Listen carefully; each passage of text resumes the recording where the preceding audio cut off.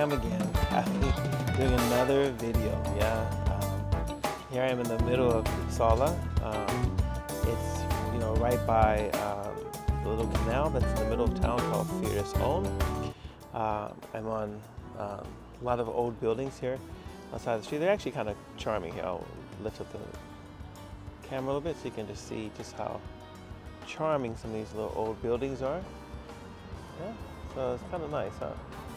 Yeah, see, it's nice. Um, right across the way here, if I turn around, um, so you can see like this is the this long thoroughfare here, uh, where people can sit outside. This is just you know free seating, uh, sit outside in in the daytime or the nighttime and talk. Um, there's a movie theater uh, pretty close by. That's over there on that side of the street, uh, on the other side of the canal. So you know this is. This is Uppsala, and this is where we are, uh, where I'm sitting at right now, um, talking to you guys um, as I'm trying to decide what subject do I talk about now. Um, I've talked about some of the things that have formed me, like being African American or growing up outside of Chinatown, um, uh, the place of music. Um, um, I've talked about, you know, just just in a light sense of those kind of things. But I like to talk about my my family.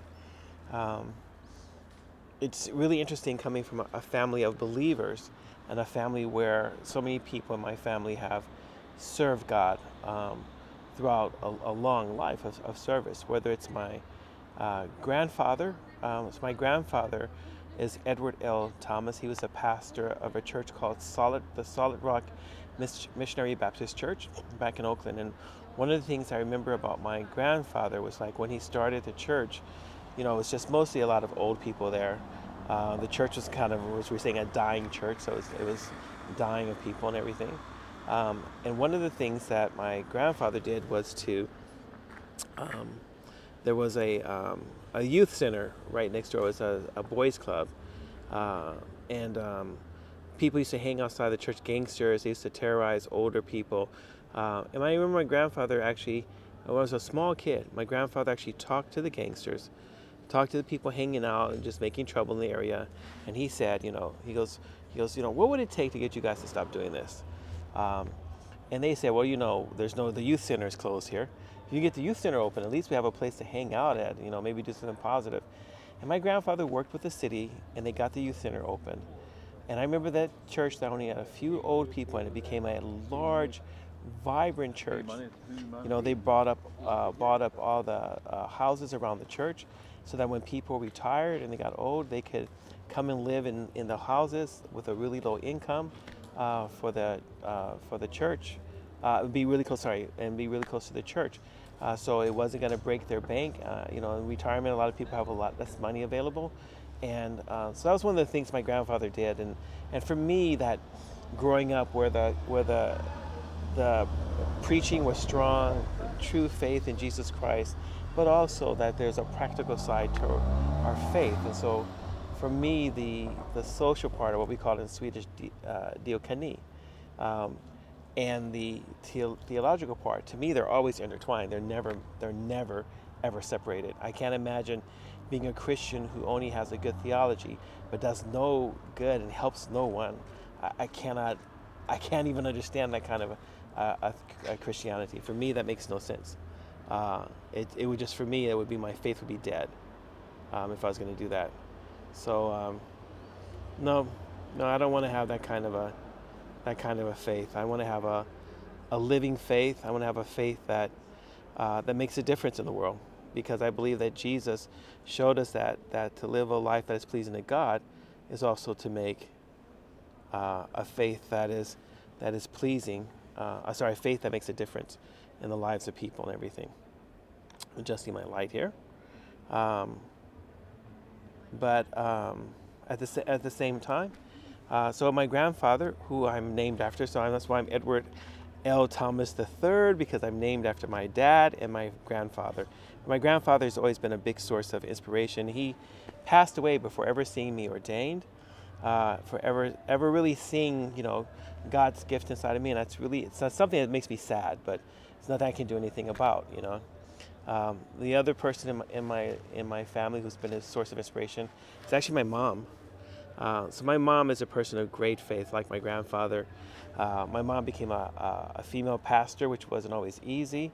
Uh, the church is divided on that question, and a lot of churches don't recognize women in the role of, you know, senior pastor or elder in the church.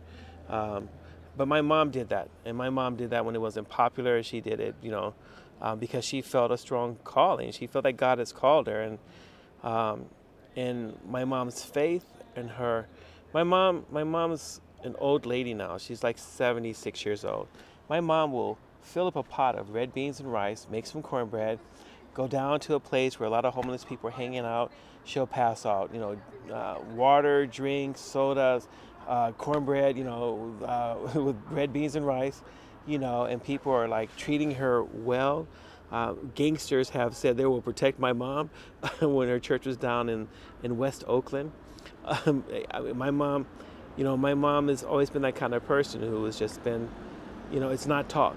It's it's always been she's she's she she she walks the talk. It's you know, it's not just all talk, and that's something that's been a big source of inspiration for me. Is that, you know, my mom um, has always you know asked you know has always said to us, well, what does the Bible say? And that's been the basis for how, you know, I look at the Bible, how I live my faith, I do my teaching, all based upon you know, understanding what the Bible uh, says. As uh, an ex-pastor of mine, uh, Dr. David Hocking said, you know, it's the Bible, the whole Bible, nothing but the Bible, and that's that's really been a big feature in my life. It's the Bible, uh, the whole Bible, nothing but the Bible. I know this sounds corny, um, but I love God's word. I'm not gonna stop teaching it. I'm not gonna stop living it.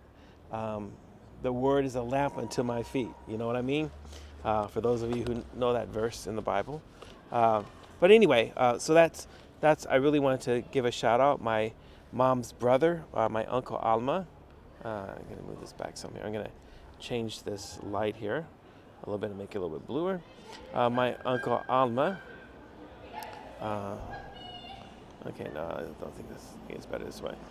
I'll just make it more intense. Oops. And so my my uncle Alma, um, was also a pastor. Uh, my uncle married my aunt Lydia, and uh, and so uh, Spanish. Uh, she, my aunt Lydia always told me, Edward, you've got to learn to speak Spanish. And I was like, I don't want to. It's so hard. She's like, Edward, you got to learn to speak Spanish. Um, and so my my my uncle Alma and my aunt Lydia, they were like also people of great faith. Um, I remember when I moved down to Southern California um, out of an abusive relationship. This is before I met my wife. Um, and, um, and they actually took the boys in and, and took care of my sons for a couple of, a couple of months while we were getting, trying to get established, you know, in Southern Cal.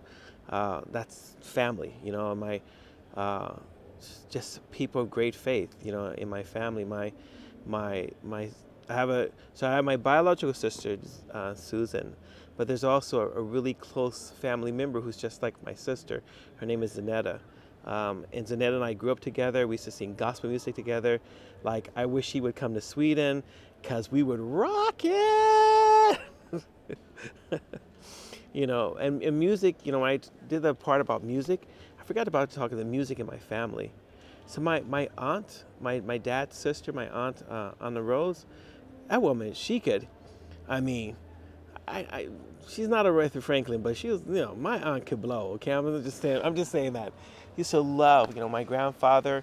I would go to church and I loved my grandfather's sermons. My grandfather was a singing pastor, and my aunt, my aunt, you know, she plays, she sings. My aunt can. My dad died. I got a chance to hear my aunt sing, and I hadn't heard that in years. It just really brought it back for me, you know. Um, my cousins, Robin and Roselyn, uh, have always been like gifted musicians and, and led gospel choirs. And I have told them for years, bring your butts over here to Sweden. Like, here's my family. My cousin Cheryl plays. I mean, here's this family filled with musical talent to worship and to praise God. Just get over here. We could, we could minister to so many people. And this is the family I come from, a family full of people who are believers, um, people who have served God, people who lived for Him with all their heart, mind, and soul. My little brother was a pastor once. He actually had even ran a, a Christian bookstore. He's not doing that kind of stuff now. Now he's working with like social work. He's working with other other things, other projects. But uh, but you know, I'm just saying that this is the kind of family, and so of course my family has been a major influence uh, on me. Um, and, and, like my mom, who's still a, a role model for me. I know it sounds really weird that at almost six years of age, here I am, a grown man, talking about my mother is still my role model. But you know what? My mom and I, when I'm feeling discouraged, when I'm feeling down, when I'm just not sure, I can talk to my mother, you know, and she'll just, she's like, well, you know, Ed, what, it, what does God want you to do?